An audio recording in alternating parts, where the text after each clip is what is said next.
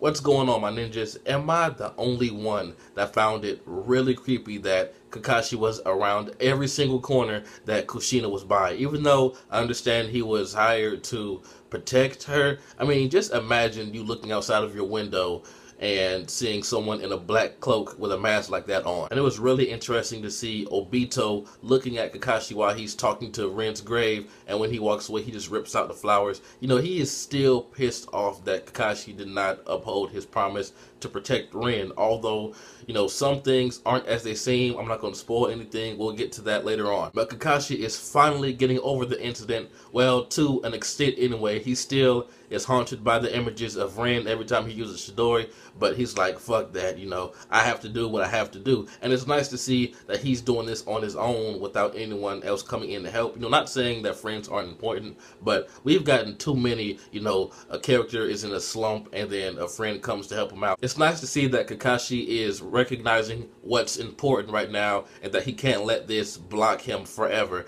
And I was only disappointed with one thing in this episode, although I understand why it was not put in there. You know, for you anime only watchers, this is a slight spoiler, but it's nothing to get butt hurt over. It's not really revealing anything. In a few episodes, we're going to get Obito's side, like what he was thinking throughout the Kyuubi uh, invasion. And since it was shown in this episode, since you know it showed Obito summoning the Kyuubi in this episode, I thought it would be easier for them to just put both of those in the same episode, like get what Obito was thinking and then get Kakashi's side. So that means after this filler, we're gonna go back to the Nine Tails invasion yet again. Although it's not gonna last that long because Obito didn't have that much to say you know, we, you know, it would have been easier to knock it out right now, but I can understand why they didn't. This is Kakashi's filler, not Obito. And Kakashi is releasing some pent up aggression. Although Chidori he couldn't pull off before, he's making up for it. Those Hidden Stone Ninja, well, fake Hidden Stone Ninja got owned by Kakashi. They did not stand a chance, although he should have kept one alive to, you know, get intel like one of the fodder ninja said. Now, speaking of fodder ninja, why don't any of them use ninjutsu? Why is it always the side characters, supporting characters, or main characters, unless it's like necessary to the plot at that point? But I mean, every fodder ninja gets owned by a basic attack. Not saying that Chidori is basic, but I mean, all they did were they, they threw kunai and shurikens, and that's it. Although we all know what happened to Minato and Kushina, it's nice to get a little extra in there, like the last words that Kushina told the third, like protect this boy and like where they got Naruto's name from and everything, and they had a funeral for Minato and Kushina. That was nice to see. And Kakashi is, I mean, he has a fucked up life. Rin is dead. Obito is dead to him. His master died. I mean, he has no one. His father committed suicide.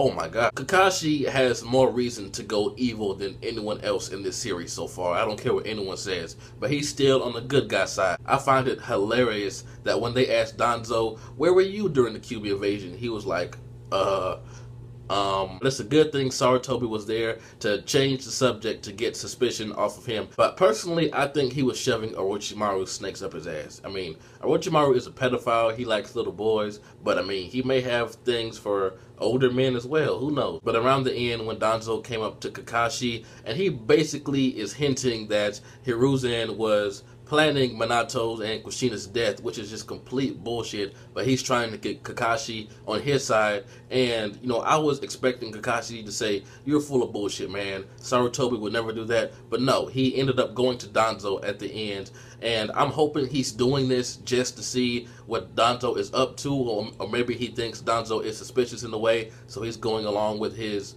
you know, with his ideals in the meantime, just to see what Danzo is up to.